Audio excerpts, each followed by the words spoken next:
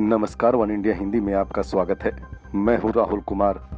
Petrol diesel के बढ़ते दाम अब सरकार के लिए मुसीबत बन गई है। देश में पेट्रोल डीजल और रसोई गैस के बढ़ते दामों को देखते हुए विपक्षी पार्टियाँ विरोध प्रदर्शन कर रही है। तेल और गैस की कीमतों में बढ़ोतरी ने आम जनता को परेशान कर दिया है। वहीं विपक्षी पार्टियाँ लगातार सरकार को इस मुद्दे पर घेर रही है। विरोध की तस्वीर अब सड़क पर भी देखने लगी है। तेल और रसोई गैस की बढ़ती कीमतों का विरोध करते हुए शिवसेना की युवा शाखा, यानी युवा सेना ने जगह जगह पर नई कीमतों के बैनर लगाए हैं।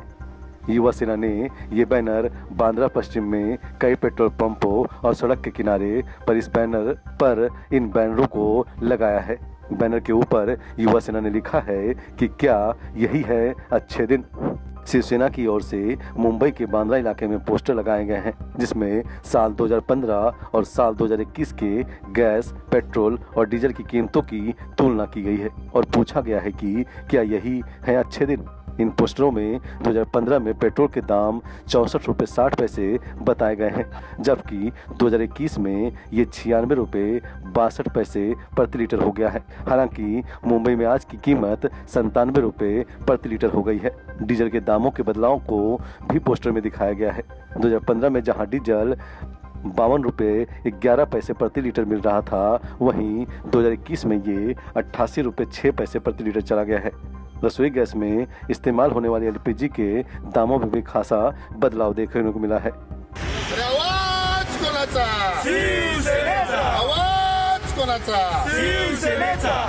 कोण चले बाय कोण चले? शिवसेना के वीर चले। अरे कोण चले बाय कोण चले? शिवसेना के वीर चले। निषेध असो निषेध असो। केंद्र सरकारचा निषेध असो। मोदी सरकार। हाय हाय। मोदी सरकार। हाय हाय। सरकार। हाय हाय। जय भवानी। जय शिवाजी। जय भवानी। जय शिवाजी। जय भवानी। जय शिवाजी।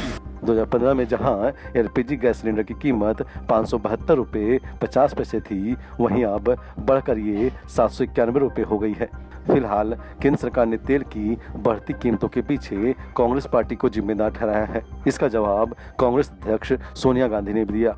सोनिया गांधी ने प्रधानमंत्री नरेंद्र मोदी को चिट्ठी लिखी है। सोनिया गांधी ने अपने पत्र में लिखा है कि मैं आपसे अनुरोध करती हूँ कि इन बढ़ोतरी को वापस लें और हमारे मध्यम और वेतन भोगी वर्ग, हमारे किसानों और गरीबों को, हमारे साथी नागरिकों को लाभ दे। सोनिया गांधी ने खत में आरोप लगाया है कि मोदी सरकार की गलत आर्थिक नीतियों की वजह से ईंधन की कीमत में बेतरतीब इजाफा हो रहा है। जीडीपी गोता लगा रही है, लेकिन केंद्र ठीक राह, पिछली सरकारों में फोड़ने में लगी है। इस खबर में इतना ही, बाकी खबरों के लिए बने रहिए वन इंडिया हिंदी के साथ।